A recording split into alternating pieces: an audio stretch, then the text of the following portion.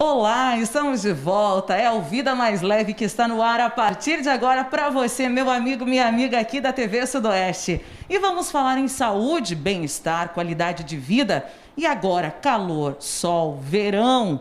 Os cuidados especiais com a nossa pele, especialmente na questão da proteção solar, não é, gente?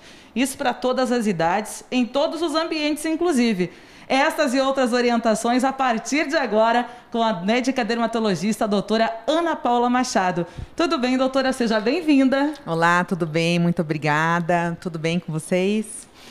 Vamos falar então sobre esses cuidados Vamos. tão essenciais, uhum. tão importantes, especialmente agora no verão, né, doutora? Uhum. Sim. É, nós temos, inclusive, pela Sociedade Brasileira de, de, Dermatologia, o dezembro laranja, que nós chamamos, né? É, esse dezembro, ele serve como um mês de prevenção ao câncer de pele, que é o câncer mais comum, né? É, e ainda mais na nossa região, né? Que nós temos pessoas geralmente com a pele mais clara, muitos é, sempre trabalharam expostos ao sol na agricultura, né? Então, nós realmente temos que, que cuidar e fazer com que a proteção solar e o filtro solar seja um hábito de todos nós, de todas as idades. Porque, afinal de contas, é aliado à nossa saúde. E a gente fala assim de peles mais específicas, a pele um pouco mais madura, as crianças, para cada um tem uma orientação específica, não é, doutora? Isso. As crianças, muitas, muitas pacientes perguntam, isso é uma dúvida bem comum, né? A criança pode começar a usar o filtro solar a partir de seis meses de idade. Olha só. E deve utilizar o filtro específico para a criança. Não dá para a gente ficar passando um filtro nosso na criança, porque na criança o filtro ele é o físico que nós chamamos. É um filtro que não penetra tanto na pele para não ter algum problema futuro de alguma alteração que nós ainda não sabemos. É, e daí, depois que ela vai ficando adolescente, ela já pode começar a usar, então, o filtro solar que nós chamamos de químico, né? Que é esse que penetra, que tem um toque mais sequinho, que é mais gostoso de usar, tá? Doutora, para pele mais madura tem alguma indicação específica? Na realidade, cada, é, existem muitos, muitos tipos de filtro solar, né? E e tem muitos que já têm medicamento, que já têm hidratação. Então, existem filtros com ação anti-envelhecimento, existem filtros focados para quem já tem é, alteração de pele, como ceratose actínica, que são aquelas casquinhas, tem filtro só focado para isso. Tem Bacana. filtro focado mais em mancha, tem filtro focado mais em melasma. Então, na realidade, depende de cada, de cada pessoa mesmo, né? Mas o importante é que nós, quem não, quem não consulta, né? É, utilizar um filtro solar de um fator 30 ou superior. E quando nós falamos 30, tem que ser muito bem passado. O que eu digo hoje em dia para as minhas pacientes, faz mais ou menos umas três semanas que isso mudou um pouco. Nós passamos o filtro solar no rosto, pescoço, colo. Uhum. Passou? Passa de novo.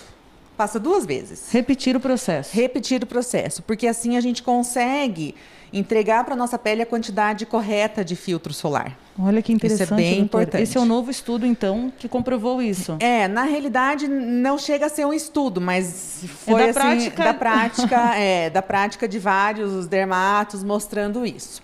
Porque daí a gente consegue passar bem na raiz capilar, né? Pescoço, colo, homem, nuca, orelha, que homem quase nunca passa, Olha, né? Olha que interessante. E pro homem, Existem filtros solares focados para o homem, que não fica branco na barba, sabe? Então, é, hoje em dia, isso está muito, muito moderno e nós, nós conseguimos é, realmente assim melhorar muitas queixas do, dos pacientes, né?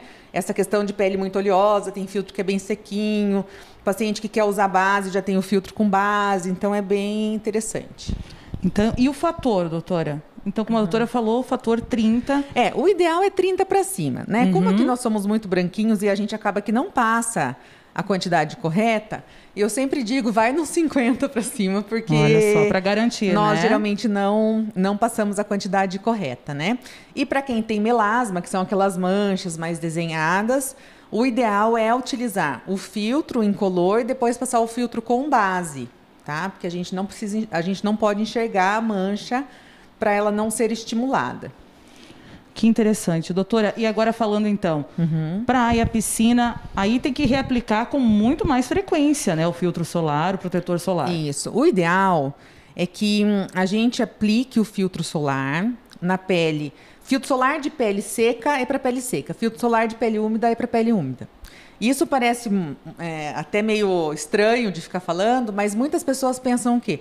Nossa, se esse filtro é bom para pele úmida, e pra, imagina para pele seca. E vai lá e passa na pele seca. E não tem o resultado. E aí não tem ideal, eficácia. Tá? Exato. E sempre passar 20 minutos antes da exposição solar. Não adianta você passar e pular na água, piscina e para o sol. Tem que aguardar os 20 minutos. Então eu sempre digo, o ideal seria assim, a sua, a sua primeira passada, você passar em casa, sem a roupa sabe? Passa a quantidade certinha. Aí de, espera secar um pouquinho, coloca o biquíni, daí que você vai para a praia, piscina, sabe? E daí depois lá você vai reaplicando.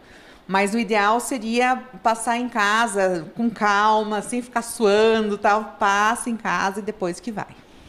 Doutora, então o mês de dezembro é um mês destinado então à questão da prevenção do câncer Isso de aí. pele, né? Uhum. Então Fica aí uma dica, fica aí o cuidado, né? A gente reitera esse cuidado uhum. na proteção solar, né? E, inclusive, né, não é somente para o sol, no sol, né? A Sim. gente tem que ter o hábito, dias chuvosos, nublados também, não é, doutora? Sim, com certeza. O dia que está chovendo, é, apenas 20% dos raios ultravioletas foram bloqueados. 80% passa. Nossa. E quando nós estamos dentro de ambientes, então, por exemplo, aqui, tem janela por tudo. A gente precisa estar tá com filtro solar. Se você não precisa acender a luz para ver onde você está, você está tomando sol. Olha né? só. Então, realmente, isso tem que ser um hábito diário, nós temos que passar, repassar. E eu falo para as minhas pacientes: é igual escovar o dente, gente. Não tem que ficar pensando, tem que passar e pronto. né? É questão e, de hábito. Questão de hábito, né? Doutora, e agora sim a gente fala especificamente agora nesse mês, né, o cuidado, porque muitas doenças podem muitas vir doenças através podem vir. dessa uhum. exposição uhum. exagerada ao Isso. sol, né? Então é. fica é. aquele alerta. E tem muito câncer de pele, na nossa região tem bastante. Uh, eu faço cirurgia em bastante paciente jovem, Olha. paciente com já já tirei câncer de pele em paciente com 18 anos, Nossa. já tirei câncer de pele em paciente com 20, com 30, agora 35, 40 já começa. Nossa região tem muito agricultor, né? Agricultora também. E realmente nós nós temos muitos casos e não é só idoso não, é a partir de 20, 30 anos já temos sim. Doutora, agradecendo a sua participação, sempre muito esclarecedora, nos orientando, falando desse cuidado que é essencial. Devemos ter esse hábito no dia a dia. Doutora Ana Paula, muito obrigada pela sua participação. Imagina, obrigada a você. Muito obrigada a você que esteve conosco aqui no Vida Mais Leve, sempre lhe orientando, lhe informando. E claro, né, fica a dica aí especial para você, verão, sol, calor, né? E o mês de dezembro é o mês específico aí do cuidado com a nossa pele. Um grande abraço a você que esteve conosco aqui no Vida Mais Leve. Lembrando que se você tem alguma dica, alguma pauta em especial, é só enviar o seu e-mail para vidamaisleve@redeselinalta.com.br. E não esqueça, viva a vida mais leve sempre. Eu te espero, hein? Até o próximo sábado.